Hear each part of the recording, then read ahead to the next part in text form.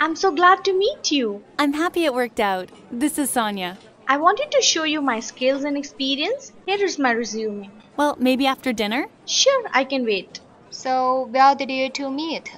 She presented at the company I used to work for, and I thought, hey, I could do that. So that's why I'm here. I remember everything you said. Excuse me, ladies. I remember her. She left after the first training session. You can see I have lots of credentials. I look forward to hearing from you. Uh, sure. Well, I'll let you know if anything comes up.